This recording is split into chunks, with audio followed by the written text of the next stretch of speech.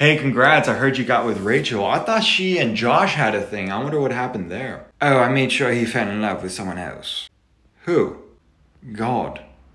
God, what are you talking? Wait, I thought he was an atheist. Quite right you are. Not only was he an atheist, but a devout debater, ready to intellectually dismantle anybody that was so religiously inclined. And I, for one, did not have the patience nor the temperament to do the research, and so I found a far more effective route, defeating him not on the intellectual battlefield, but that of emotional warfare. The emotional? What does that mean? Yes, but did you know that those with a disagreeable personality type tend to be quite isolated, for whenever they get close to someone, they are apt to disagree and challenge every one of their friends' beliefs. They can be isolating for that friend. And so, in reality, although they look quite popular and happy on the outside, the emotional quality within is quite lonely and sad. And so, he was oh so powerless to my suggestion, my offering of friendship.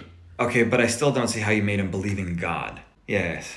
How familiar are you with miracles? A miracle? Not very. Well, you see, people tend to mistake that miracles have to be some type of supernatural event, a parting of the Red Sea, or the cure of a deadly disease. But people forget the humanity and intimacy of personality. Meaning, what could be some insignificant event for you can be the most miraculous event for me. And so for Josh, I knew that I did not need something supernatural, but something rather more tailored and personable to him.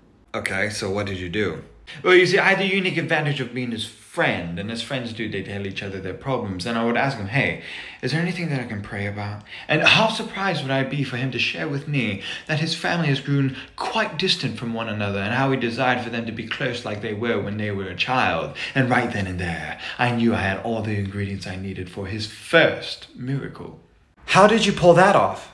You know, it was actually quite simple. I just took his mother aside when I was visiting his house one day, and I just straight up told her, I said, You know, I love your kid. He's a great guy, but he tells me that he misses you.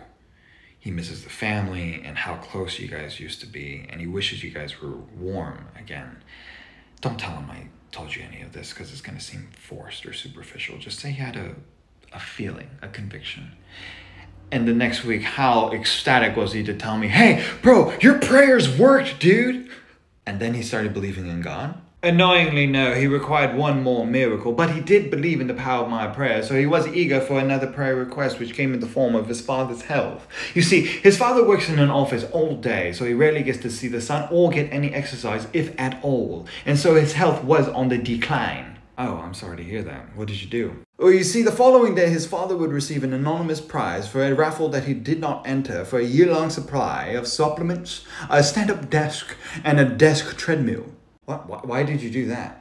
Well, you see, when you're working in office all day, the ailment that you suffer from most likely is that of a vitamin D deficiency, which is why I gave him all those supplements. And the reason why he didn't work out is not because he didn't have enough time, but the reason why most people don't work out is not convenient nor easy enough for them, which is why I supplied his gym right beneath his feet at his station at work. And oh, did it work like a charm! His increase in health led to a direct increase in productivity and work performance, which led to a higher level of confidence, which translated all to his family life and his intimate life. And so, which led to a happier wife, which led to a happier family. And oh, how happy was he to report all these things to me. And every time I said to him, Wow, God really loves you.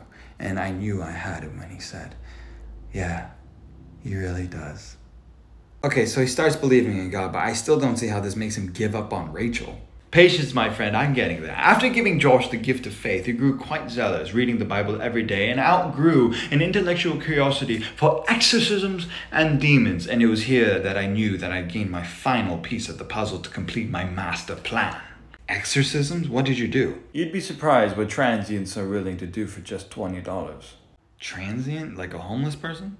Yes, you see, one day when we were walking home from school, we would encounter a homeless person shouting out information that only we were privy to, to convince Josh that this person was demonically inspired. And how quick was he to rebuke him? The power of Christ compels you. The power of Christ compels you. And after saying so, the homeless person would appear healed, calm, immediately thanking him, Thank you for saving me, thank you for saving me. And then he would go about his way. And immediately I would say to him, Josh, you have a gift.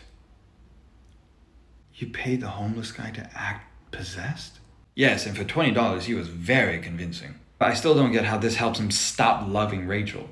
Two words, my friend Christian guilt. What? What? You made him feel guilty about his love? Yes, you see, I made sure to plant the seeds of guilt within our conversations. I would profess the guilt that I felt for lasting after Rachel and how it was hurting my relationship with God. And after his successful exorcism, I made sure that he would encounter another possessed homeless person, but this time not when he was with me, but when he was with Rachel. What? What for? How surprised would he be to find that he's unable to exorcise this demon? And the only changing variable? Rachel. You made him believe that he couldn't help someone because he was in love with Rachel. Yes. And then he would come to me in distress, saying that he should have heeded my warnings and that his lust for Rachel had prevented him from doing God's work. And then he started quoting scripture that one cannot be a slave to two masters, that he would reject his love for Rachel and accept the love for Christ or something of that matter. But of course, I didn't know how far he was going to take it. Not only did he reject Rachel, but he rejected all women. He took a vow of celibacy and joined the clergy. You turned him into a priest? Yes, and he thanks me for it to this day. Ironically, he's actually quite a good person now and helps a lot of people and has seen miracles without my hand.